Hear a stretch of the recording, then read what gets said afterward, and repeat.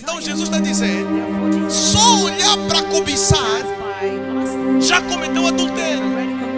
Tem pessoas que se chamam muito santos, que só estão preocupados com práticas. Prática é pecado. Não peca, não pratica, não faz isso. E é só isso que eles querem falar.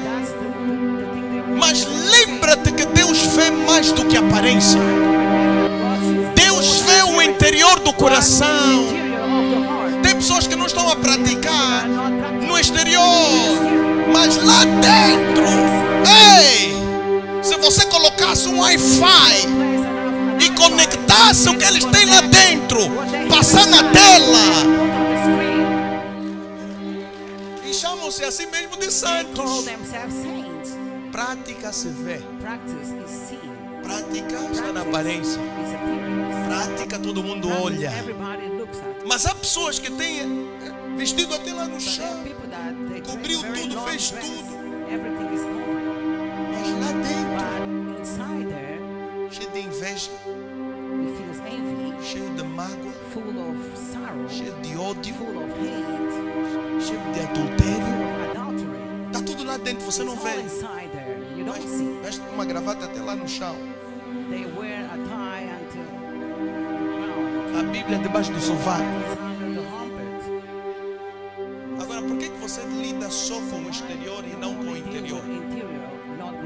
Você sabe o que? Antes de você adulterar, primeiro você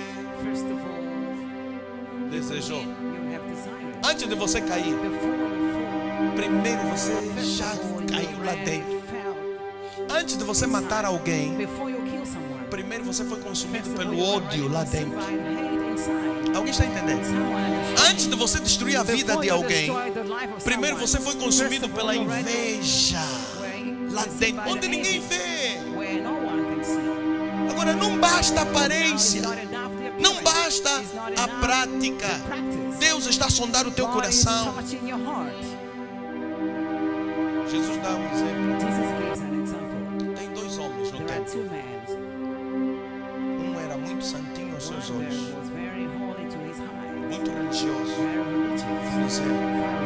Ele bateu no peito.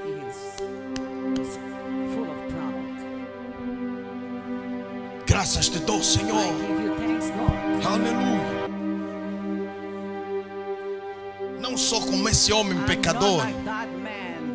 Está falar do publicano. Não sou como esse homem pecador.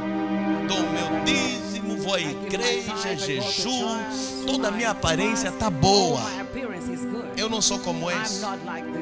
Obrigado, Deus. Sou muito santo. O outro lado longe, ele, ele nem, nem ergueu a sua cabeça em suas mãos. Ficou assim. Ele disse: Senhor, não sou digno de ti, nem de chamar o teu nome. Tenha misericórdia de mim. Agora Jesus perguntou: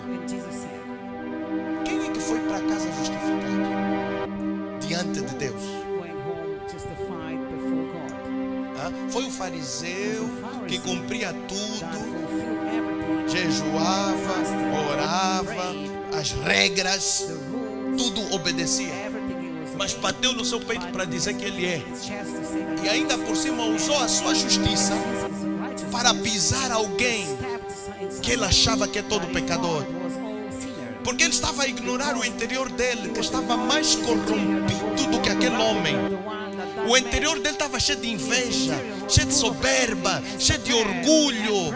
E tudo que ele fazia era para ser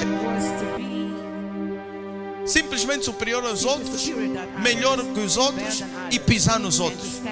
Não, Jesus está a colocar pessoas que praticam com pessoas que não praticam do lado, do mesmo lado. E ele está a te separar, está a dizer assim: não adianta nada você ter aparência, não adianta nada você fazer as coisas certas, não adianta se você no interior está corrompido. Para Deus, o homem que não está fazer a coisa certa, mas que se humilhou e reconheceu que ele precisa da misericórdia de Deus, está justificado do que você que está a praticar e se orgulha disso, bate no peito para humilhar os outros. Você não pode passar nada não pode passar nada. Que Deus já não te deu poder, já não te deu graça, já não te deu capacidade para você vencer. Ele só vai permitir que algo bata a tua porta se Ele já te deu poder. Ele viu em você capacidade. Ele viu em você mais do que você está vendo em você.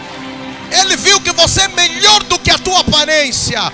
Você é melhor do que já manifestaste. Aperta Jó, lhe aperta, lhe tira tudo. Porque Jó vai ficar melhor. Vai sair de servo para profeta. Eu só te conhecia de ouvir falar, mas agora os meus olhos te veem e os meus ouvidos te ouvem. É isso que tentação, provação faz para aqueles que já foram provados no coração, já foram aprovados no coração. Não lhes destrói, lhes aperfeiçoa.